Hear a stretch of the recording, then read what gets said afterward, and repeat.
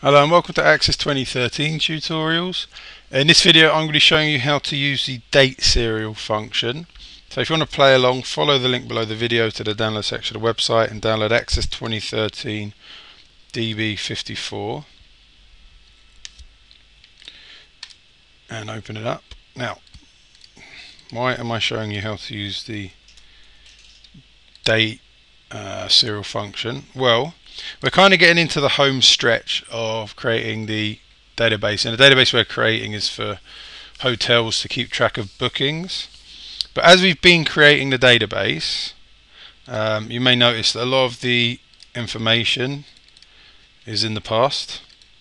And the next thing I want to do is create the scheduler, which is basically a visual representation of the data in a database.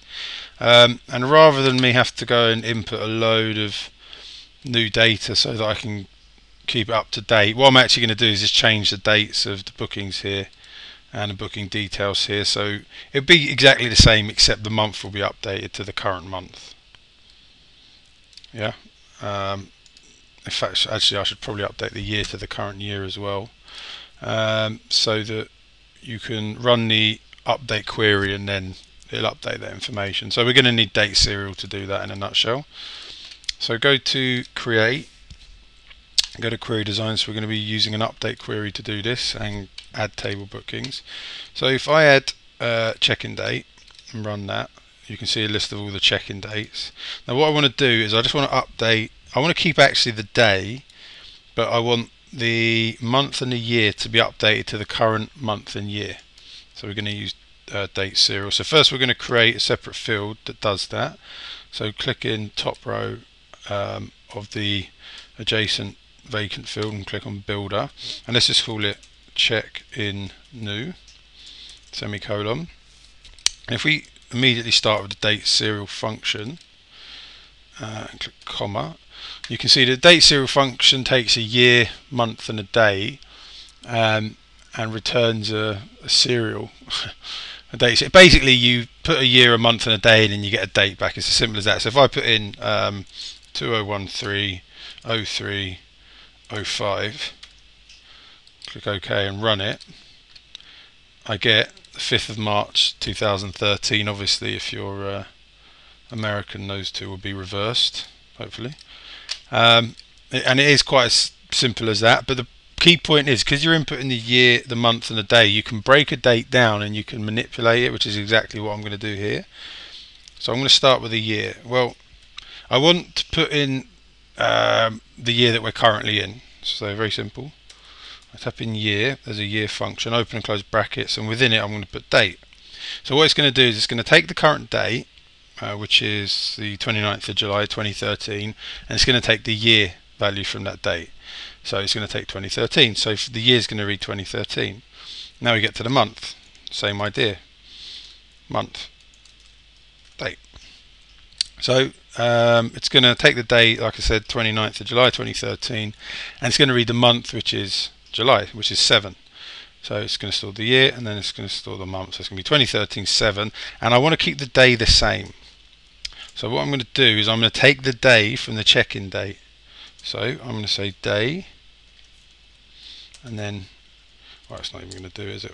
Table booking details dot check-in date press OK. So now if I run that, it's taken the 15th and it's put it here. It's taken the 26th and it's put it here. It's taken the 20th and it's put it here. Yeah, so it's updated everything. It's kept the days, but it's made all the months and the years the current month and year. So the year's still the same, but the month you can see has been updated. So go back to design view. Now we're going to do the same with checkout date. But we're going to be a bit cheeky because we're going to click in check in new. Uh, Control A, Control C. We're just going to copy and paste over here.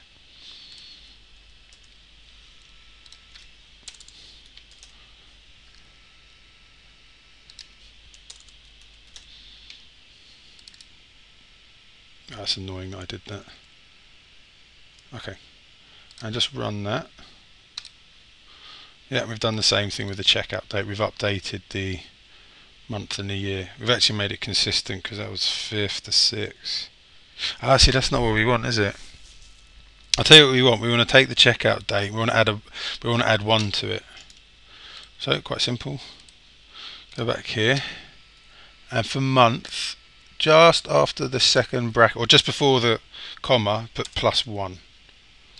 Now click OK and run that. Okay, so that's updated everything to August.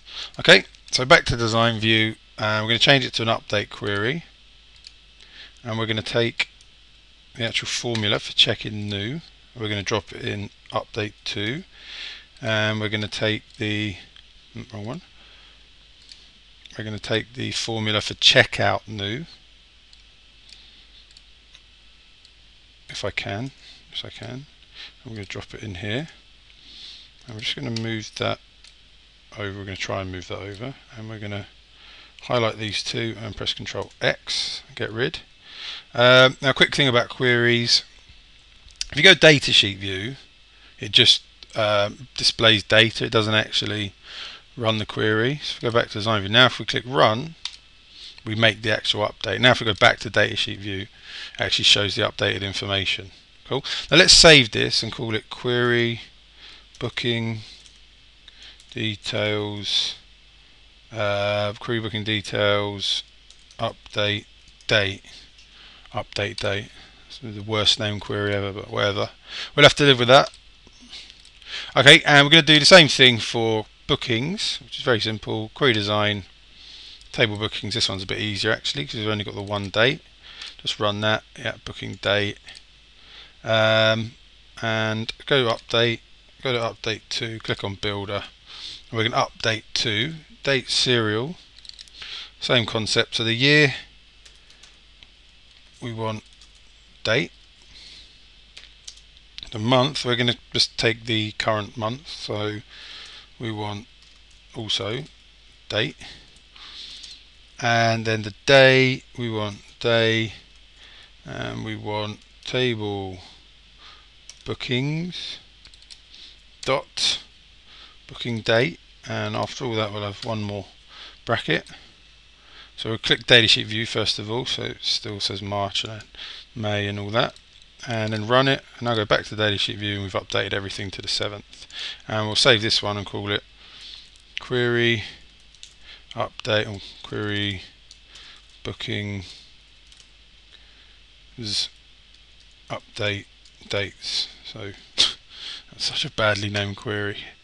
Brilliant. So we've learned a couple of things today. We've learned about date serials. We've learned how not to name queries.